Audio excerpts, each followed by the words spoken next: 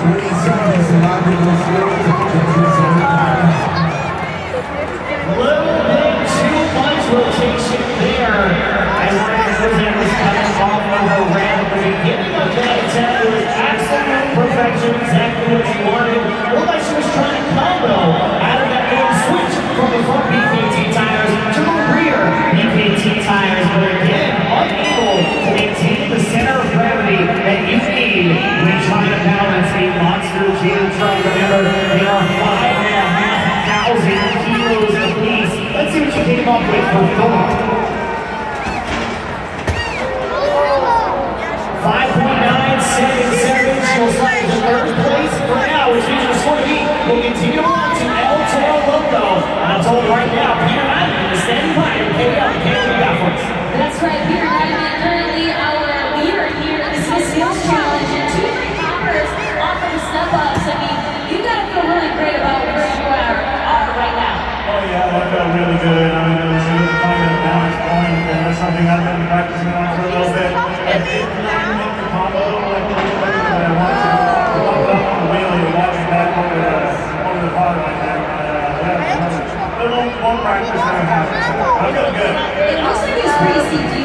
That. That particular uh, pod was a little steeper than what you're accustomed to? I think actually that combo it felt great. I mean, like, like it was so easy to, to, uh, put right up there, and uh, I have to give it to the, the dirt crew. Like the dirt guys that built this track all around the world, absolute precision. Like, frankly, I mean, like, that's so good. Most definitely. Uh, I mean, right now you're standing in the lead right now with a good solid score. You've got a couple more drivers left. Is it, is it kind of nerve-wracking to watch the rest of these drivers, especially when you have to go out first? Oh yeah, for sure. Doing that first is always tough. And, um, there's not just any drivers that's out there trying to do it. I mean, Blake, uh, Breaker and Max Lee, he's, he's, he's doing still is doing more than anything. So you guys are in for a treat for sure with these starting starts coming up. And thank you so much for spending some time with us. Everyone Peter Madden, he is El Toro.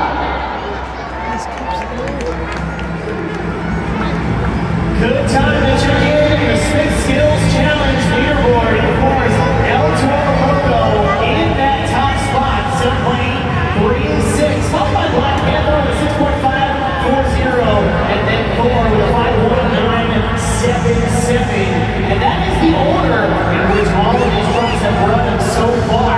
Each one of these competitors coming out, El Toro Loco setting a high bar and neither competitor thus far has been able to surpass. We'll see if any of the rest of the competitors find more still remaining to jump in to that top spot.